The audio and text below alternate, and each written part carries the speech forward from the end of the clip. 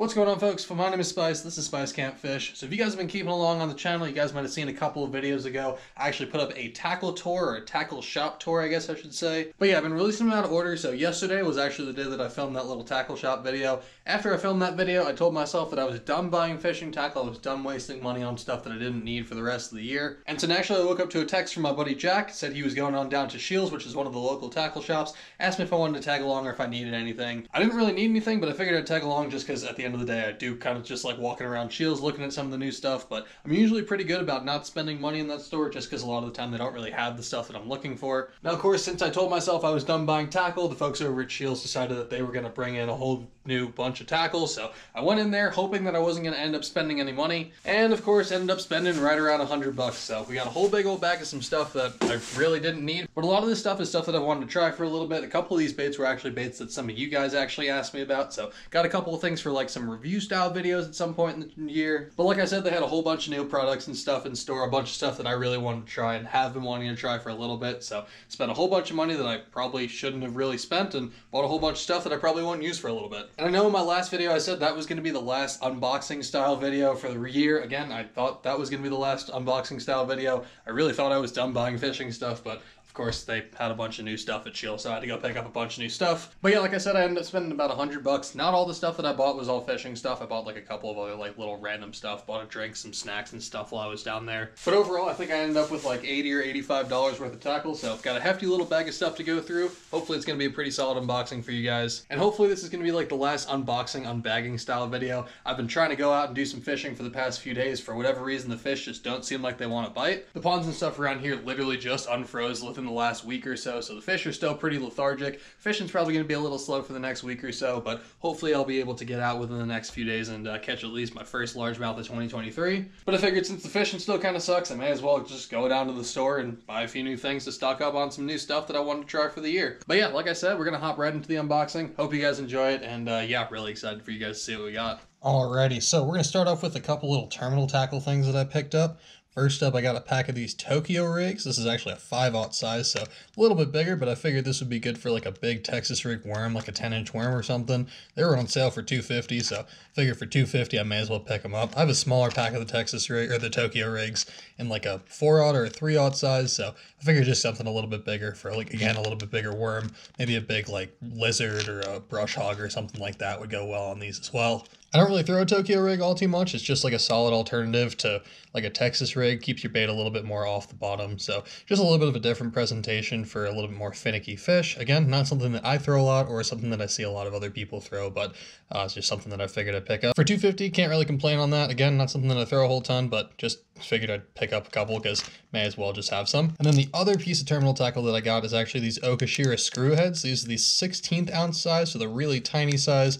They come with a 3 aught hook. I don't know what color they call this. I assume it's just like a shad or a natural color or something, but these little screw heads are super interesting. They actually have a blade on there, and the blades are actually really cool too. Uh, one of the sides of the blade is actually bigger than the other, which I'm sure you can't really see, but but the idea of the screw and also the screw being kind of like mismatched sizes is it's supposed to give kind of like a weird vibration in the water, almost to feel like a, a thumping or like a fluttering baitfish tail or something like that. It's supposed to be almost like a finesse chatterbait or something. It's supposed to be really good this time of the year, so figured I'd pick some up since I saw that they had them in stock again. Again, not something that I throw really all that much. I've thrown the original uh, Okashira heads without the little screws on them, but haven't got a chance to try these yet, so I figured again, since they were in stock, I may as well just pick up a pack. But yeah, this is kind of that time of year where you want to be throwing those little tiny, like small underspins and paddle tail swim baits and stuff like that. So I figured this would be a good little alternative, just something a little bit different that not a lot of people are throwing. Again, not a bait that I throw all that much or really at all, but I figured it'd be something kind of cool to try.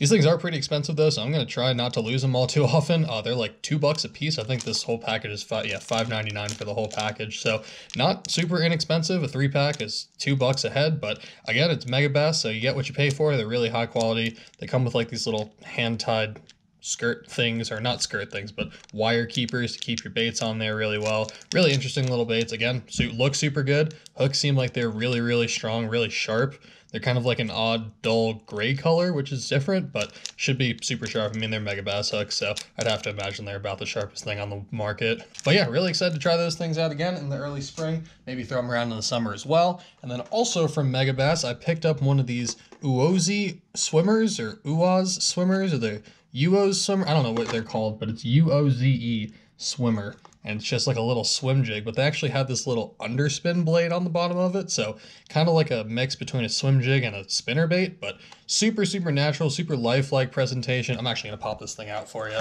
Well, absolutely destroyed the packaging on that guy, but there's that little Uozi swimmer. That's that quarter ounce size. I don't know what color they call that, but it's just kind of like a natural bluegill color, but again, got that super high quality Megabass hook on there. Now that I'm seeing it and feeling it, it is slick and sharp and everything that you want in a hook and then some. This thing's got a really interesting like monofilament bait keeper on it. It's got like four little monofilament things on there, little tabs, and I guess that's supposed to keep your bait on there super well. But again, super high quality stuff. I never thrown this like swim jig spinner bait thing before. It looked super interesting. I've always had my eye on them. They're just like 12 or 13 bucks. I never really pulled the trigger on one before, but again, figured I'd just pick one up because I mean, I'm in the business of spending money, I guess. But yeah, look at that for a little bluegill profile. That thing's going to be sweet. I'm really excited to throw the thing around in the spring, around that spawn, post-spawn area, when those fish are really starting to feed up on some bluegill. That's going to be a killer. Alrighty, then going on to something a little bit different, we got ourselves a chatterbait, or a bladed jig, I guess. This isn't a chatterbait. It's actually the new Berkley Slobber Knocker. So I saw these came out recently. They're a little bit more expensive than a chatterbait. I think they're like 12 bucks or something like that. So a little bit more expensive, but look super high quality. I've been seeing a lot of really good things about these things. This is a 3 8 ounce size. It is the bruised color, so it's like a green pumpkin with some blue in there, a little bit of black in that skirt as well. Really interesting, really good looking colors for both clear as well as dirty water. That's kind of what I wanted it. I wanted like a good little bluegill presentation for throwing in pretty much any sort of clarity of water. And that pretty much checks all the boxes for me. I'm actually to pull this one out as well because I kind of want to see it and it looks really good. But yeah, there we go. There's a little slobber knocker. The skirt is actually all messed up right now, so I have to fluff that out a little bit. But overall, looks like a really great looking bait. Got a halfway decent bait keeper on there, I guess. That should hold the bait on there pretty well, actually. Got a hand-tied skirt on there, so that's pretty sweet. Got a little bit of a different blade shape on there, a little bit different than your normal chatterbait. Got a little bit more room up in there in that little eye area where it connects to the head of the bait. So that's kind of interesting. I'm not really sure what this thing is designed to do or how it's supposed to be different from a normal chatterbait or something like that, but we're definitely going to have to throw it around, see what it can do, and uh, see if we can catch some fish on it. But you guys know me, you know how much I love a chatterbait, and I mean, Berkley makes some pretty solid stuff, so when I saw they were coming out with a bladed jig, you know I had to pick some up. And again, they are a little expensive, so only ended up picking up this one. I was gonna probably pick up a couple different colors, but I realized they were like 12 bucks, and I was like, yeah, I think I'm just gonna get the one. So pick the one color that I figured would be most universal, and uh, yeah, that's that bruise color again. Looks freaking sweet. Alrighty, next up we got a couple of packs of these, so I'm sure you guys recognize what these things are. These are the Berkley Power Bait Gillies, so I actually saw they had the bigger size on sale. This is like the 130 millimeters, so that's a huge freaking profile. Just comes in a two pack. I think that's the watermelon, yeah, watermelon candy color they call that one.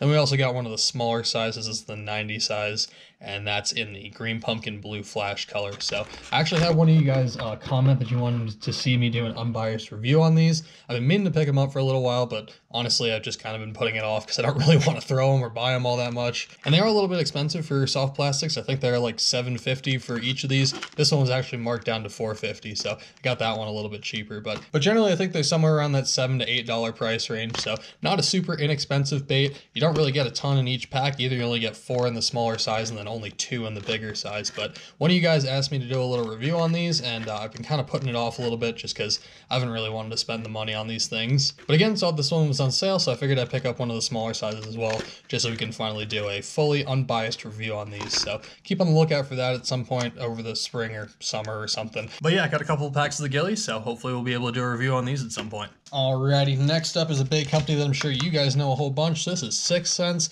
Everybody knows 6th Sense. So we got one of their older baits, I guess. This is their Vega Frog. I haven't had a chance to try the Vega Frog yet, but they look freaking sweet. This is the Gilfest color, so just like a natural bluegill kind of color. But yeah, there's that Gilfest color. Again, just like a supernatural bluegill, kind of like a natural white belly with a little bit of orange under the chin. But again, just kind of like a natural bluegill bait fish color frog. I've been making it a point to kind of pick up a frog or two every time I go and make a tackle warehouse order or go to a tackle shop or something like that, just because I feel like I'm running pretty low on frogs and I really do want to update my frog arsenal a good bit. So, been adding a frog here and there, and uh, this is the newest addition to that. These frogs aren't super expensive. I think they're like 10 bucks, which isn't the most expensive frog I've seen. They had some of those Megabass frogs for like 18 or 19 bucks, and I was definitely not going to pick up one of those, but I figured I'd pick one of these up just because they look super sweet and I've always wanted to try one. I don't really throw a frog all too much, but again, it's one of those things that I want to get better at this year. I keep saying that every single year that I'm going to keep throwing a frog, and I feel like I throw it less and less every year. But I picked up a few new frogs that I really want to try, so I'm hoping that'll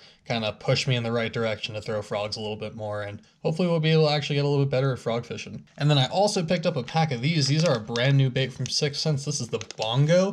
So this is kind of like their jig trailer, like kind of their Rage Menace style bait. Kind of a perfect cross between like a twin tail grub and then just like your average craw style bait. So got those little flapping appendages on the end. Again, very similar to like a Rage Craw or something like that. These things should put off an absolute ton of vibration and movement in the water though. So I'm really excited to throw these things around, maybe flip them, maybe do a little bit of Texas rigging, throw them on a Carolina rig. Obviously, these are going to be great jig trailers as well. But yeah, really excited to throw this bait around. Again, it's a new bait for 6th Sense. Haven't really heard all too much about it, but I have seen a few people catching some decent fish on it. So really excited to get this thing out in the water and see what it can do. And that's that green pumpkin juice color. So fantastic looking color right there. It's just green pumpkin with literally every color flake, I guess. Got some orange, some green, some blue, some red, some yellow. Literally every color flake that you could possibly think of is in there, and it looks juicy, as you would expect from the name. And then the last thing I picked up is actually a really interesting bait. This is a new Gary Yamamoto worm. This is called the Slinko. Uh, this is supposed to be a floating worm, so I actually picked these up for like a shaky head or like a Texas rig or something like that. But look at the color on that. I think they call that, what is that, watermelon moon dust? Yeah, that's what they call that one. So I, I don't know how to describe that. Watermelon moon dust is a pretty good way to describe it. It's watermelon on one side and then just kind of like this pro blue with a ton of purple and blue flake in it on the other side. Really interesting looking color. Again, these are designed float, so they should be a perfect little like shaky head bait. Or even if you want to throw them on like a normal Texas rig or something, I'll probably just be throwing them on a shaky head or something like that. But yeah, great looking little bait. They're Yamamoto baits, so obviously they're going to be pretty high quality. And uh, yeah, really excited to get both that bait as well as that color out in the water and see what it can catch. All right, folks, that's going to do it for today's video. I really hope you guys enjoyed. Just a little bit of a shorter unboxing for y'all. Again, this was kind of like an impromptu video. I wasn't really planning on making this one, but just the opportunity presented itself, and I figured I'd go out and spend a bunch of money on fishing stuff because, again, the fishing kind of sucks right now. But yeah, really excited to try out some of this stuff, especially that Berkley Gilly. Like I said, one of you guys actually suggested I do a review on that bait, so that'll be coming at some point in the future. Let me know if you guys want to see like a review on any of these other baits, those new Yamamoto worms, or maybe the Bongo or the Okashira heads or something like that. But yeah, I'm actually going to get tied up and get ready to go fishing tomorrow with one of my buddies, so hopefully we'll be able to get on our first fish of the year, like I said. But other than that, hope you guys enjoyed again. Check and wreck them, and I'll catch you on the next one. I'm out. Peace.